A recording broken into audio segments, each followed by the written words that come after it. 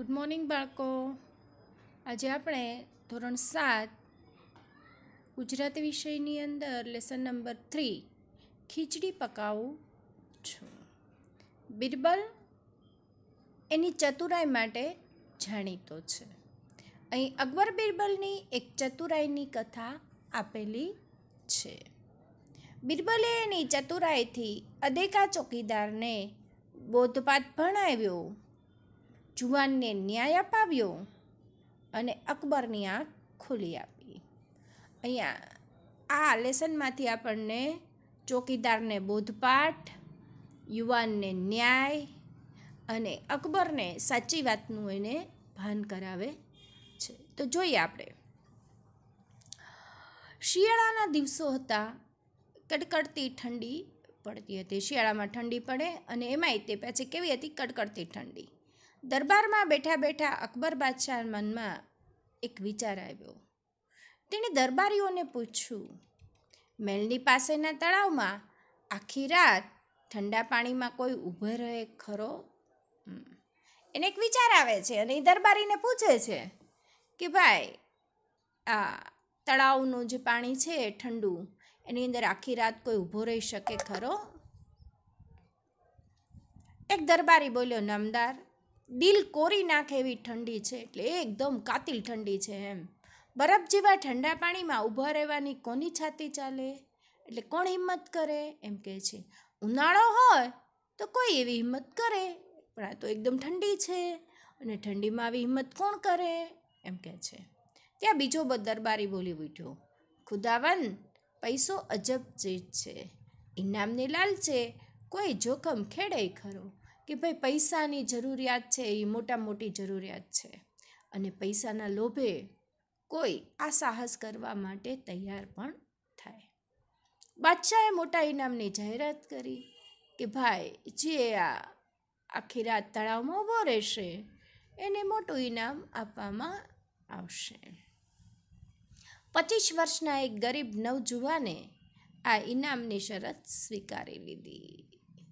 એક યુવાન હતો, પણ એ ગરીબ હતો. એને પૈસાની જરૂરિયાત હતી, એટલે એણે આ શરત મંજૂર રાખી, સ્વીકારી. આથી બાદશાહે તળાવની ચારે બાજુ કડક ચોકી પહેરો ગોઠવ્યો. નવજુવાન આખી રાત ઠંડા પાણીમાં ઊભો રહ્યો કે ભાઈ, એ આખી રાત કાંઈ જતો નથી રહેતો ને? એ માટે ચોકી માટે આજુબાજુ માણસોને ગોઠવી દીધા અને આખી રાત બિચારો ગરીબ જે માણસ છે એ આખી રાત પેલા ઠંડા પાણીમાં ઊભો રહ્યો. સવારમાં બાદશાહે તળાવ પાસે આવીને જોયું તો નવજુવાન પાણીમાં ઊભો ઊભો પ્રાર્થના કરતો હતો. બાદશાહ તેને શાબાશી આપવા જતા હતા. ત્યાં એક અદેકો ચોકીદાર બોલ્યો, હજુર, રાત્રે મેં એને તાપતો જોયો હતો. આમાં અદેખા હોય ને જે ઈર્ષાળુ, કે એને ઇનામ મળી ગયું અને પોતે રહી ગયો. એવો ઈર્ષ્યાળુ એક ચોકીદાર છે.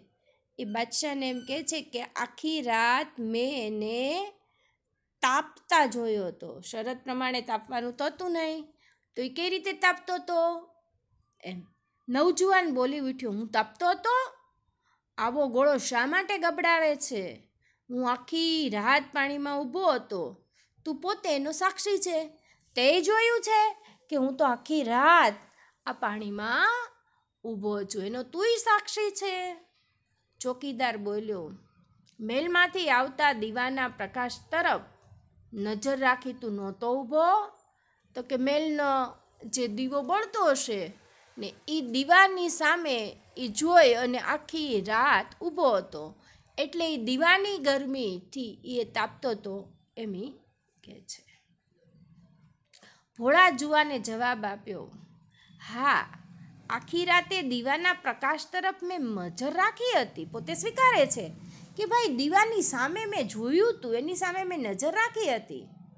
અદેકા ચોકીદારે કહ્યું, ત્યારે તને એ દીવાની ગરમી મળી ખરી ને? હા, તેમ કહે છે કે દીવાની ગરમી તને મળી. બરાબર ને? એમ, એ ગરમી મળી, તેથી તો તું જીવતો રહ્યો.